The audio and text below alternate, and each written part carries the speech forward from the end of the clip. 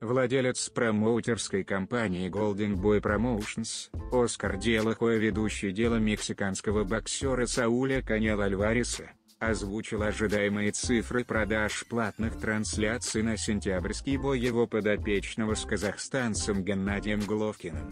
После того как Канело и Чавис продали более миллиона ППВ, в бою с Головкиным в сентябре мы ожидаем около 3 миллионов, поделился Делахой в интервью Fight Hub TV.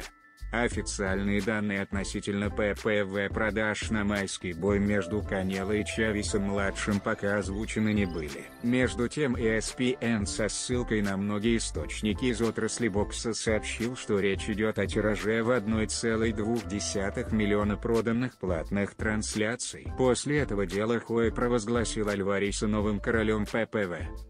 Для сравнения последний поединок Головкина против американца Дэниела Джейкобса состоявшийся в марте в Нью-Йорке может похвастаться лишь цифрами в 170 тысяч проданных трансляций.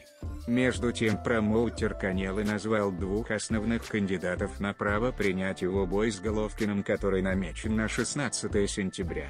В свою очередь известный рефери Джо Кортес, в настоящее время работающий аналитиком на канале ESPN, предположил что это событие пройдет в Лас-Вегасе, и побьет рекорд боя Мейвезер Пакьяо, который собрал 4,4 миллиона PPV.